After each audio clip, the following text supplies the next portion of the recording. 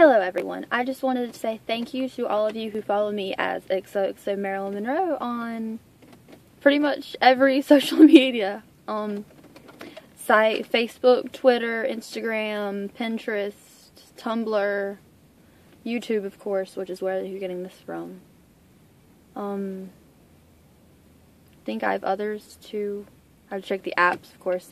But I just want to say thank you because I really appreciate everybody loving Marilyn and hoping that her legacy continues on for many years to come because she is an inspiration to everyone, including myself.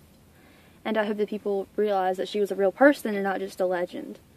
Um, all these false quotes and Photoshop pictures of her on people's bodies and things just don't represent who she really was. And I appreciate the fact that some of you are like me and want the truth to come out because she was a real person um, she believed in real things and real morals, and she had a real story, and she made herself from nothing, which I think is really inspiring, and I hope that, you know, everybody remembers her for who she really was, because she was a brilliant person.